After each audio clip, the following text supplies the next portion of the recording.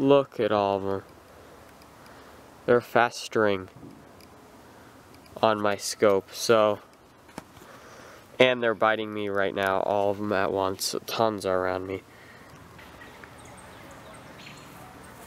So galaxy season is over now, and it is officially summertime, so it's peak nebula season. There's some, some of the best nebula, brightest nebulae in the sky out. A long focal length telescope like this, f10 2000 millimeters. It's not ideal for that kind of stuff. You really want a nice wide refractor. But there's a few beautiful deep sky objects this time of year that favor a, long, a large focal length telescope like the Celestron Edge HD 8 inch one such as M57, the Ring Nebula, constellation of Lyra, which I'm going to be photographing tonight. I have a couple new um, additions to the setup. You've probably already noticed one of them that's been really helping out a lot. So, thank you. And then I have another, I have actually a new camera. I replaced my old Canon Rebel T1i. It's not a dedicated astronomy camera. Don't get excited. It's another, it's another DSLR. It's old to some people, but new to me. It's the Canon EOS 70D. So it has, it's way better than my Canon Rebel T1is with noise, keeping the noise down. And I actually bought it off eBay pre-modified, full spectrum modified and I couldn't find anyone's like that. It was a really um, great deal. Canon EOS 70D, full spectrum modified, and came with a lot of batteries and things like that. So it was a really great camera. And I'm I already got four hours of data on the target that I'm imaging tonight, right, the Ring Nebula. And it's amazing to see the outer edge all red, like tons of hydrogen on the outer edge of the Ring Nebula that I'm picking up in each exposure. Since this target is so bright, basically each exposure almost looks like a final image. It's, it's crazy. I can't wait to get, like, I already have four hours tonight. Hopefully I'll be able to get more than four hours because last night there was, the other night there were some clouds. So hopefully I'll be able to really uh, make an impressive image of this nebula. And there's some, so some faint galaxies around it that I should be able to pick up with a lot of exposure time. So hopefully I'll, I'll be able to pick up on those faint galaxies around the, the nebula as well. It is kind of surprising this telescope being such high focal length. Um, the nebula is very tiny, even with a telescope like this. That's why when you photograph it with wide field scopes, almost looks like a little dot. You can almost see the, some stars of the actual constellation in your frame. But a telescope like this is kind of neat to see a lot of detail in the Ring Nebula. But tonight's looking like a beautiful clear night all night long, so I should be able to get plenty of data on my target tonight, and hopefully everything goes to plan.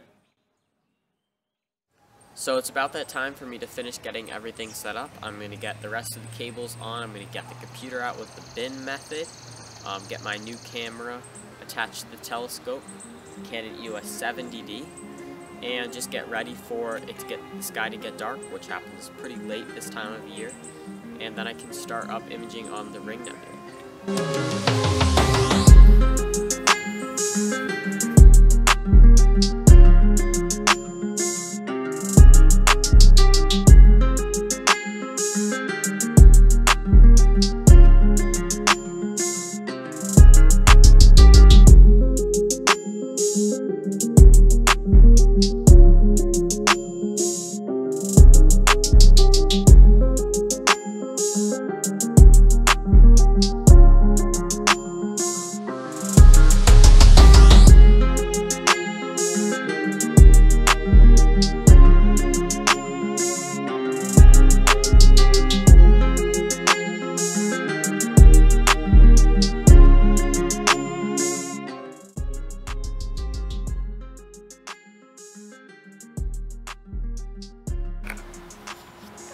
Another thing about this DSLR that I really like is that flip out screen. I've never had a camera, DSLR camera with a flip out screen before and it's just that little extra bit of convenience just adds so much more uh, fun to the imaging session makes everything go so much more smooth especially when this is what happened. This scope would be pointed straight up at the zenith right?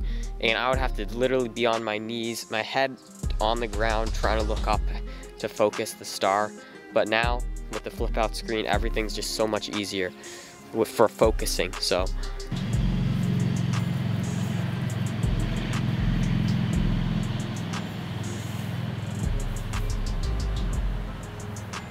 Okay guys, so it's getting really buggy out. The thing about these summer nights is they're really beautiful and warm. You can just sit out here um, and not be freezing to death. But the other thing, the other side of them is, as you know, mosquitoes and all the bugs and stuff like that. But um, luckily I don't need to be out here too long. I just kind of need to focus the telescope and go to our target, which which shouldn't take that long.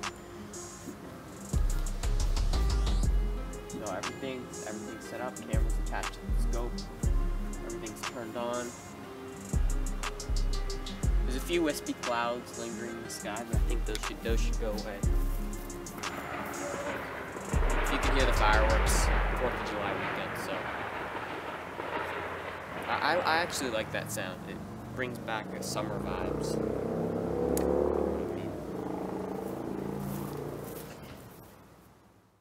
Okay guys, so everything's set up and here is um, this is not the first exposure but here's one of the exposures coming through.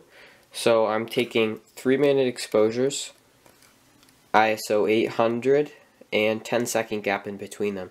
And here's just a 3 minute sub on the ring nebula it looks really nice. Uh, the center is keeping that noise down low.